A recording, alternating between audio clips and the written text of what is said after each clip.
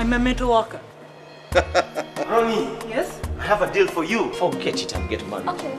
But I found you exercising, not working. Are you saying I'm an idler? Don't come near me. That workshop is too small for both of us. Me, I don't want. show women a bit more respect.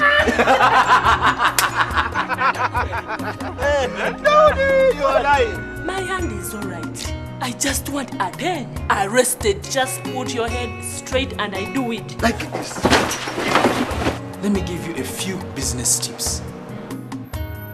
I am going to America. Buddha, Buddha. You one more time.